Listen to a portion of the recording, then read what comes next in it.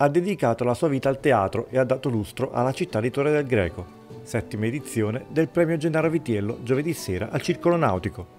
Un riconoscimento che punta ad individuare non solo quanto c'è di meglio nel panorama teatrale, ma anche quello che è stato e che verrà. La serata è stata anche l'occasione per ricordare la straordinaria figura del regista, scenografo e traduttore di testi inediti.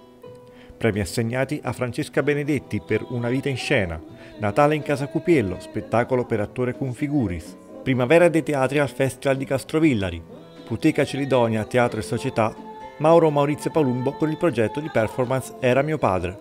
Questa è la settima edizione 2023 in ricordo di una persona che ha dato lustro a questa città, Gennaro Vittiello, un regista, un traduttore, un uomo che si è dedicato e ha dedicato la sua vita al teatro e non solo, attraverso il coinvolgimento diretto dei giovani che erano e con i quali lavorava e per loro ha realizzato una serie infinita di opere, quindi ci piace ricordarlo attraverso le sue testimonianze che di volta in volta in tutte le edizioni porteremo qui a conoscenza, ma soprattutto sia di coloro che già lo hanno conosciuto, ma soprattutto per far conoscere questa genialità di Gennaro Vitiello che già in quei tempi eh, dava vita ad un teatro sperimentale innovativo, sicuramente alternativo, il cosiddetto teatro nel garage. E quindi riavvicinare i giovani al teatro è sicuramente un bel messaggio per rivitalizzare quella che è la cultura anche anche qui nel territorio di Torre del Greco.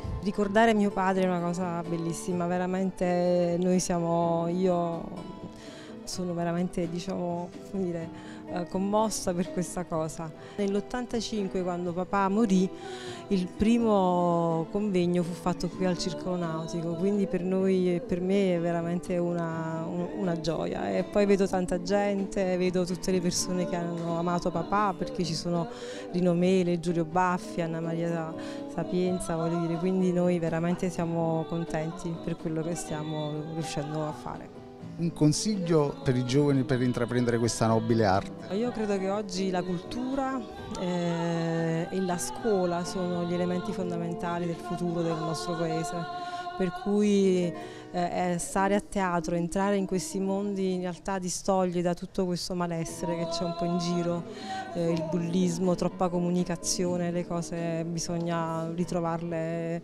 metterli sulla giusta linea e credo che la scuola e questa opportunità per esempio anche tramite la scuola di poter fare progetti culturali sicuramente aiuta. Gennaro Vitiello è stato tra i promotori di una sperimentazione in tempi non sospetti che ha gettato le basi per uh, tutta una serie di iniziative che sono poi, si sono sviluppate in ambito cittadino e in ambito nazionale. Il suo sguardo internazionale era per quei tempi una grandissima novità ed è in nome di questa energia, di questo, di questo stupore che Gennaro Vitiello ha avuto verso il teatro che questo premio intende appunto guardarsi intorno e catturare le energie contemporanee. Cosa possiamo consigliare ai giovani per intraprendere questa carriera? E il talento va accompagnato allo studio, va accompagnato alla ricerca, va accompagnato alla eh, come dire, inesauribile voglia di scoprire e di stupirsi.